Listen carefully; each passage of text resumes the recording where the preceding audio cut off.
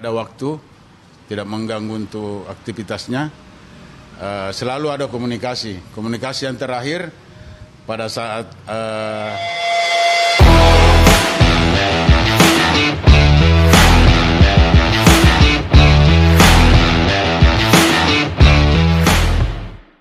Aksi tengil Asnawi tersebut bermula dari kegagalan Faris Ramli yang bertindak sebagai algojo tendangan penalti gagal menjalankan tugasnya dengan baik.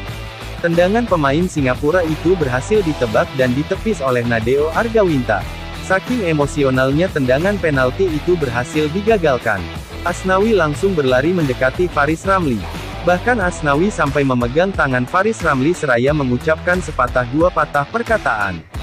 Selain mendapatkan teguran dari Shin Taeyong, aksi tengil yang dilakukan Asnawi juga membuat ayahnya Bahar Muharam murka.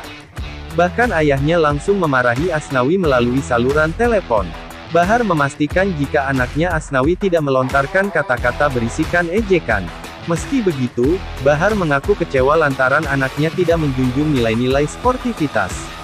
Tambahan informasi, di partai final nanti timnas Indonesia akan mendapat ujian berat. Pasalnya skuad Garuda akan berhadapan dengan timnas Thailand. Seperti diketahui timnas Thailand merupakan negara pengkoleksi gelar terbanyak di ajang Piala AFF sebanyak lima kali. Sedangkan timnas Indonesia belum sekalipun meraih juara, padahal skuad Garuda pernah masuk final sebanyak lima kali.